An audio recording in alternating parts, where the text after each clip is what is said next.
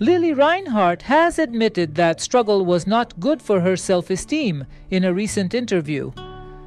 Lili Reinhart, who is famous for her role in the Riverdale as Betty Cooper, has recently launched her skincare brand, Personal Day. At her launch event, Reinhart candidly shared with people about a girl's struggles related to their skin problems. Following this, she recalled her own skin problem that she had faced when she was in school and also admitted that there's a lot of shame associated with acne.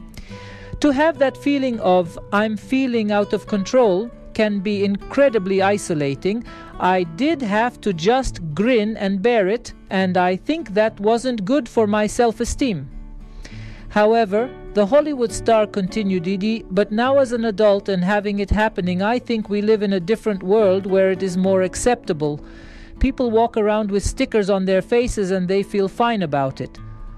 I hope teenagers who experience acne feel like they're in a world that's a little bit more accepting just because when I was a kid, no one was talking about it.